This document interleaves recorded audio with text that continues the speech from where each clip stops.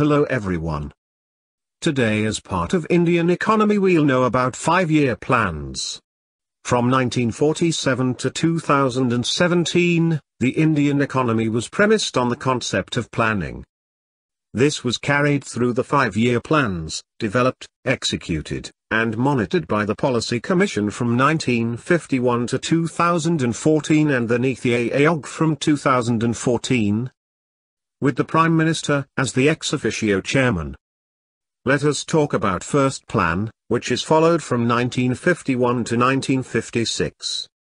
In this period highest priority is given to agriculture, irrigation and power projects. 44.6% of total public sector outlay of 2069 crores on agriculture, irrigation, and power. Transport and communications received 26.4% and industry only 2.8%. The rate of investment targeted at 7% of national income. National income grew by 18% and per capita income by 11% food production went up by 20%. Thank you listeners, this is the information about the first plan, in our next video, we'll know about the second plan.